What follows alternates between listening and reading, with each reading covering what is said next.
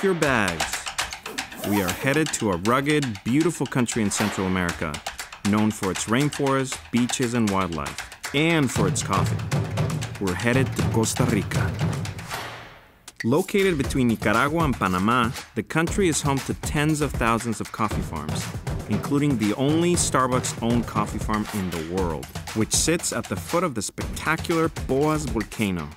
It's called Hacienda Alsacia. Beautiful, right?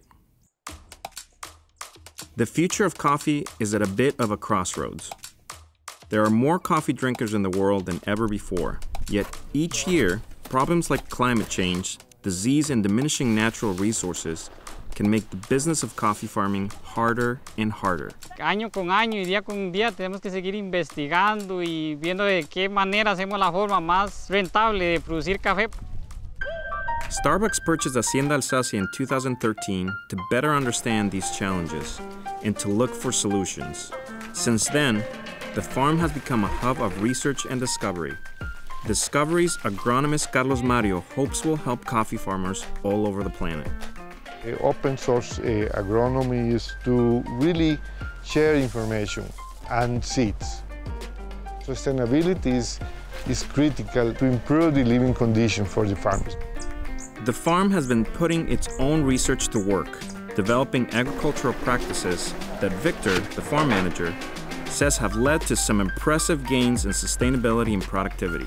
From the beginning to now here in Hacienda Alsacia, we are saving four times the amount of water.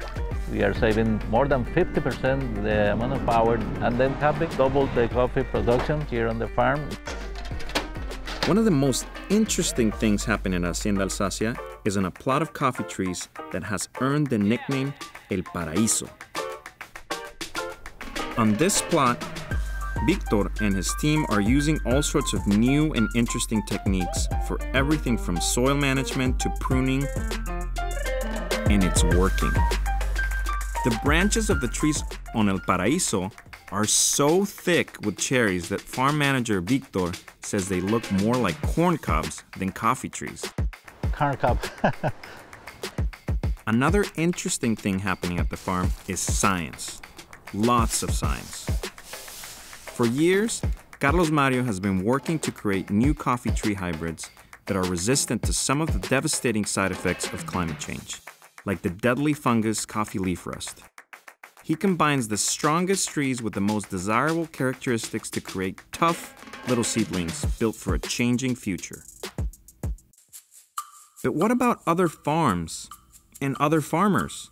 Starbucks buys coffee from more than 400,000 farmers in more than 30 countries. Ya que en mi familia soy la séptima generación productora de café, puntos más complicados que tenemos ahorita es el problema con la roya y el cambio climático. El cambio climático sí nos ha perjudicado, entonces una vez ha pensado en decir, no, ya no voy a sembrar más café. I'm the fourth generation of coffee growers, so I feel lots of responsibility to keep going, to keep the business going. Que cada grano de café, cada panega de café, cada cajuela que uno saca día con día es para alguna persona en algún lado del mundo lo está disfrutando, está tomando una taza de café. Un caficultor tiene que hacerse la pregunta todos los días en la mañana si en las venas de él hay sangre o hay café. It's kind of one big circle. Hacienda Alsacia shares its agronomy research, innovative farming practices, and disease resistant coffee seeds and trees with farmers all over the world so their farms can be more productive and sustainable, which means they can grow even more delicious coffee for Starbucks to buy and for you to drink, which means coffee farmers have more money to support their families and communities.